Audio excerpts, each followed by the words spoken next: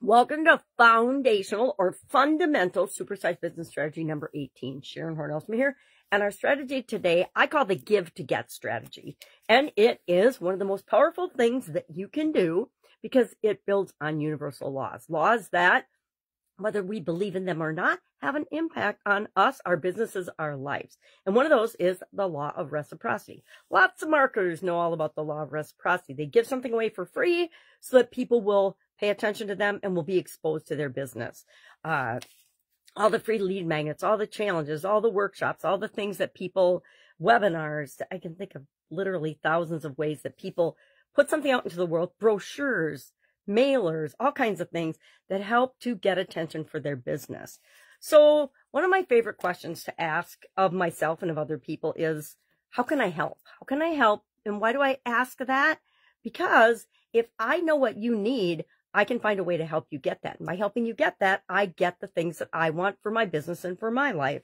Uh, think of leadership. The best leaders are those that serve the people that report to them, right? And that work in their organization. The best coaches are the coaches that ask questions like, how can I help? What is your biggest challenge right now? Etc. Uh, contribution is how can I contribute? Well, if we want to receive something, and we'll talk, I'll give some examples of that, but whatever, and I've taught my kids this and everybody that I work with, whatever we put into something is what we get back out of that. Remember my kids in school, sometimes they wouldn't want to do things. I'm like, well, remember what you put into this is what you're going to get out. If you put in effort, your best effort, and you try your best to learn something, it doesn't matter the grade that you get out of it. But if you give your teachers what they want, then you will get the grade that you want.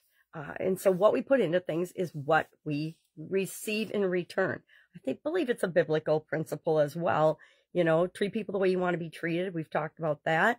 And it's true. If you want respect, give respect. If you want attention, give attention. If you want to make the world a better place, then start by doing whatever it is that you can to positively impact the world around you with your business as well as with your life. If you want fewer challenges, setbacks, problems, etc., help other people solve their problems. If you want more profits, make sure that the people that you partner with, your customers and people that you interact with are profiting from that interaction as well. And more profits will come your way. More people will want to partner with you. You know, when it's, it's when there's something in it for everybody, everybody wants to help you grow and build and supersize your business. When you want attention, and this is the one that I think is uh, the most important, not, not the most important, but it's really important, is the one thing that we can give, and it doesn't cost us anything, is our time, our energy, and our attention. Now you might say, oh, my time and energy is worth X amount of dollars. Well, guess what? It's what everybody else's. We are all infinitely valuable. And so how we treat other people, what we put out into the world is what comes back to us.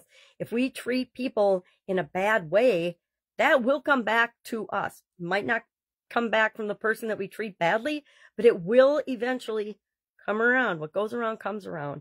And so always be mindful of what you're putting out there.